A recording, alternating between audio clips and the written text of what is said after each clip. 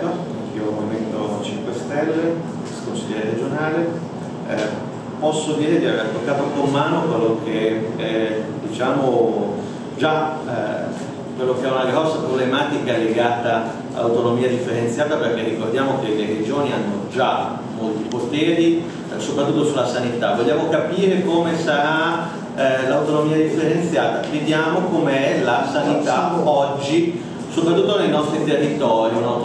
una, una sanità a due velocità. Vogliamo replicare questo modello anche eh, in altri settori come la scuola, l'ambiente, l'energia, i trasporti, già anche questo lo vediamo con il disastro che eh, ha Trenord e a cui purtroppo i pendolari sono, sono costretti. Ecco, questo è l'esempio lampante di come si prospetta l'autonomia differenziata se ancora più rafforzata, quindi sicuramente possiamo solo che essere contrari a questa